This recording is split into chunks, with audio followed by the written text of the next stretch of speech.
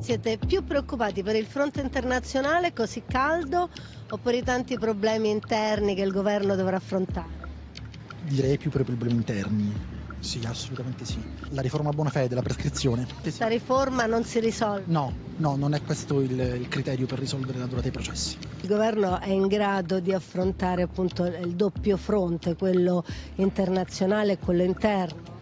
Eh, diciamo che per quanto riguarda il discorso internazionale forse manca un po' di esperienza. Per quanto riguarda il fronte interno bisogna capire se su alcuni punti che sembrano essere quelli chiave si troveranno o troveranno un accordo. Siete preoccupate per il fronte internazionale così caldo in questo momento? Sì, tanto tranquille non si può essere con quello che sta succedendo. Cosa pensa che si possa fare nell'immediato? È una politica più stringente a livello dell'Unione Europea, insomma una collaborazione maggiore nella linea politica da seguirsi. Ecco, l'escalation internazionale la preoccupa? Per niente, guardi, non succede niente.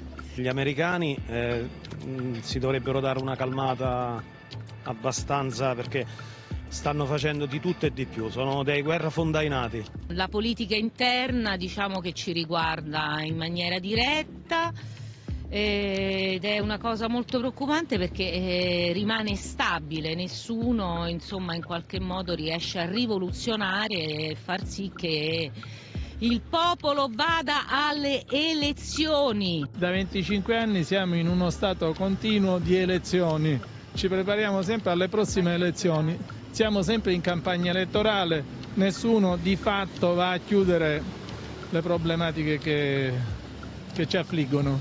È preoccupato per la crisi internazionale? Mm, abbastanza perché vedo mm, che si tratta di azioni un po' insensate. Invece per quanto riguarda la politica interna, tutte le sfide dovrà affrontare il governo?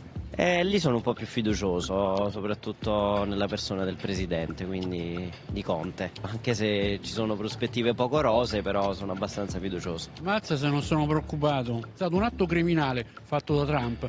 Io mi aspetterei dei nostri politici che si preoccupassero per una situazione del genere, perché lì abbiamo 900 soldati in Iraq, mica uno.